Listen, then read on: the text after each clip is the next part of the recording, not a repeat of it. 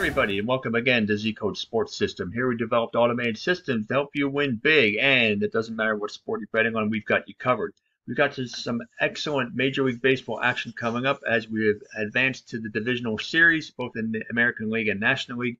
So we're going to look at some National League games coming up for October 9th. But before we get started, I want to invite you to join so you have access to the VIP Club section, which has all the tools to help you make your picks. Okay, so let's look at the games here in the National League. The first one we want to look at is the Philadelphia Phillies and the Atlanta Braves. This will be game two by the time this game comes up. The first game is on Saturday. Uh, the Phillies come in burning hot. They have won their last three, including a two-game sweep over the Miami Marlins in the wild card round, outscoring them by 11 to 2. The Atlanta Braves are average status. They have lost two of their last three games, but they came in with uh, 104 wins during the regular season, the best record in Major League Baseball. You see the teams are trending in games pretty much over the line.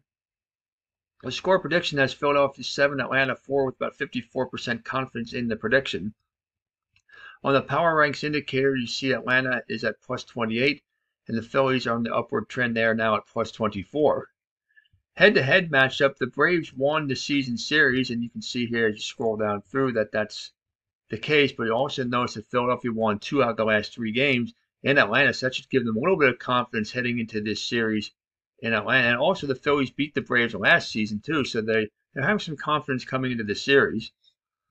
Um, if we take a look at the volatility oscillator, the stability factor, you can see the Braves probably, I don't have the exact numbers here, but at um, plus 47, I'm guaranteeing that this is one of the top numbers in the league. And Philadelphia has also been very consistent at plus 25, meaning that they're consistently performing with regard to their favorite underdog status.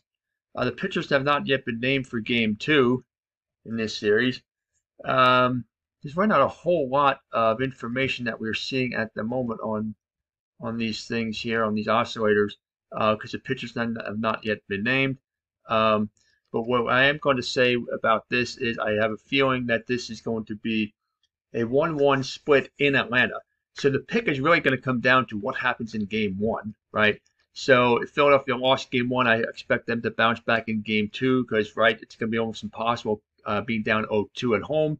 And again, the other way around. If the Phillies win game one, Atlanta does not want to go back to Philadelphia down 0-2. So that the pick is pretty much going to be dependent on who wins the, the first game in this series. But either way, I think this is going to be a higher scoring game. Both teams have very high powered offenses, so let's go with over the line.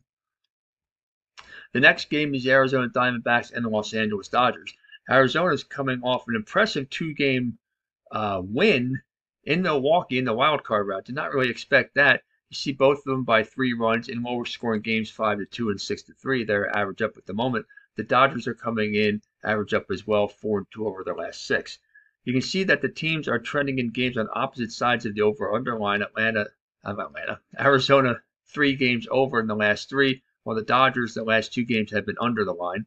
The score prediction is looking for a lower score with Arizona coming out on top six to two. But be careful with this. The confidence in the prediction is rather low at 45%. The power ranks indicator shows the Dodgers kind of uh, an up and downward trend, slowly actually going a little bit downward lately at plus 23 compared to Arizona right now. They're at plus 15 and they are at the lowest point. Well, they were at plus 11, but um, they were up as high as plus 22 and then back in early in September, see plus 24.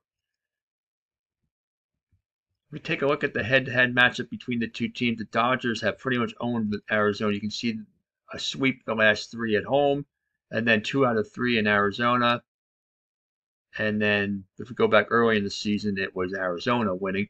But once you got into the meat of the schedule, it was all Los Angeles. Uh, let's see what else can we look at here. The volatility oscillator, the stability factor. You can see here that the Dodgers have been more consistent overall with regard to the favorite underdog stats. At one point earlier on, you can see back in July, it was Arizona that was a more consistent team, but they have leveled off. They have not been as stable over the last couple of months. So I really don't see much for Arizona as well as they did against Milwaukee. I really feel like that this is the Dodgers' time. I like the Dodgers in this one, but since the teams have been trending on opposite sides of the over/under bet, I'm going to pass on the over/under. So that's really it for now. I mean, there's only two games, so it was a rather short video this time. But be back next time for more predictions. So happy betting, and we will see you next time.